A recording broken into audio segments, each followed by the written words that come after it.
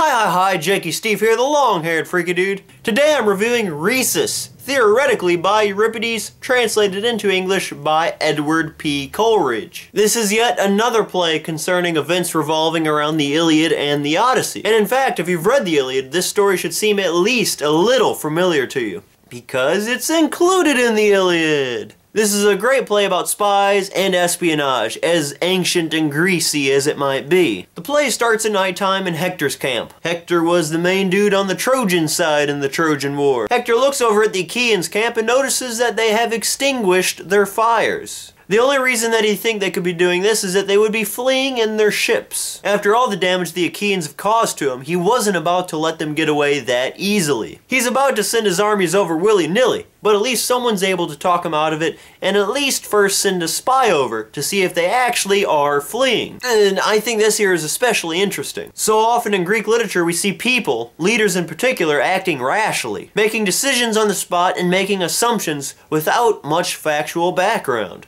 But here, for a change, we actually see a leader talked out of being stupid by acting on their unfounded assumptions. And they aren't talked out of it by someone higher or equal to them, no. They're actually talked out of it by someone lower than them, someone inferior. I just, I don't know, I just thought it was interesting. It doesn't happen much in Greek literature. Anyways, Hector asks if anyone wants to be the spy. A low-ranking guy named Dolon says that he will, but only on one condition. And ugh, if you've read Greek plays before, this repetitive theme will just drive you bonkers. But yes, here it is again. He wants a possession of Achilles. Though, it is a better request than Achilles' armor. Ajax. Not something worth killing yourself over for anyway.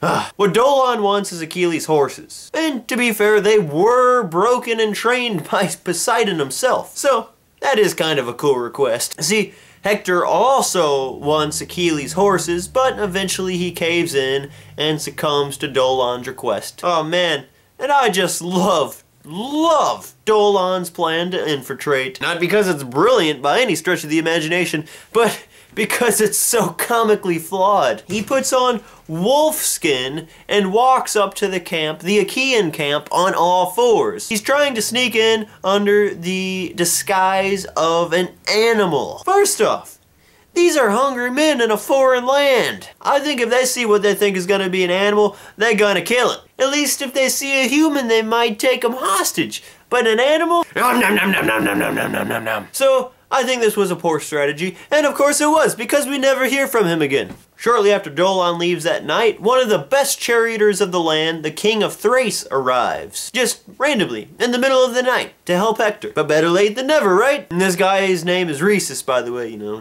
The, the, the, title of the play suggests. Once Rhesus gets the chance to fight, aka the coming morning, he will just absolutely slaughter the Achaeans.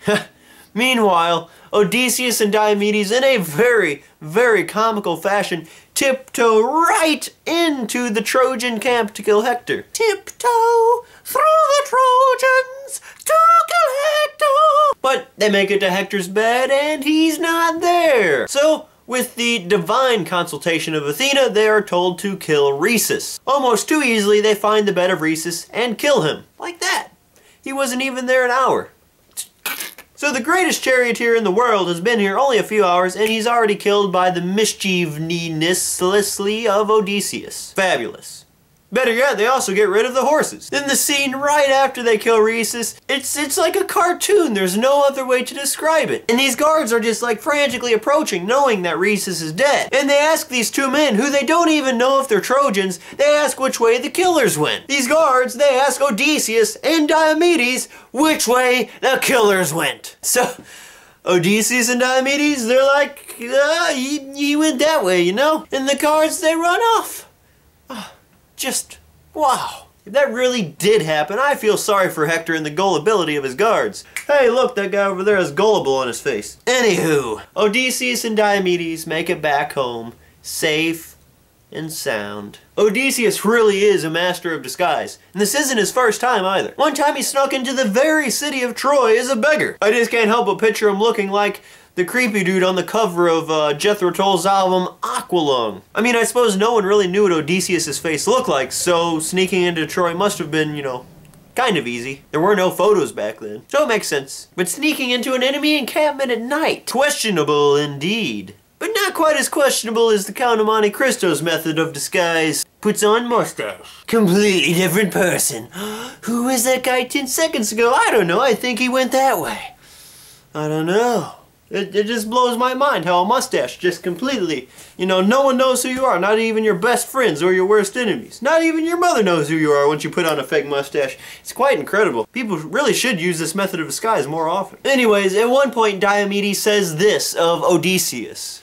Thou art well versed in clever tricks, and hast a ready wit. I don't know if that's an ancient Greek accent. I don't know. What does an ancient Greek accent sound like anyways? I don't know. I like this description of deception, as if it's something that one can be versed in. It gives people hope that they too can deceive one day. So the play ends with one of the injured charioteers thinking that Hector injured him so that he could get his horses. Hector's response to this is this. Never may such longing for horses seize me that I should slay my friends. Friends, but not necessarily people, are ranked higher in value than horses. I think what Hector says here is right, but is what Odysseus did wrong? I mean, he ultimately stole the horses, but did he rank the horses' lives higher than the man's? If Odysseus was doing this in his own defense, because these horses were the best in the world and posed a threat to his life, isn't he ultimately ranking his life and not the horse's life as more important than the charioteer's life? What do you think? So, Rhesus by Euripides question mark it's a recap of some events from the Iliad. It's not a ground that we see too much touched upon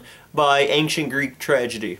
And the cartoon-like ease at which the spy work and espionage is executed will be sure to make you laugh. At least slightly chuckle on the inside. Well, I'm Jakey Stief, the long-haired freaky dude. Thank you for watching this book review. If you want to see more great book reviews, cooking tutorials, or headbanging to classical music, then might I suggest checking out my channel and hitting the subscribe button below.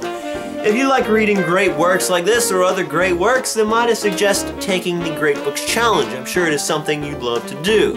If you have any questions, comments, or concerns, feel free to leave those in the comments section below. Feel free to start a discussion, and feel free to be as vulgar as you please. It is free speech down there. Well, I'm Jakey Stief, the long-haired freaky dude. El longo freaky dudo Stefo.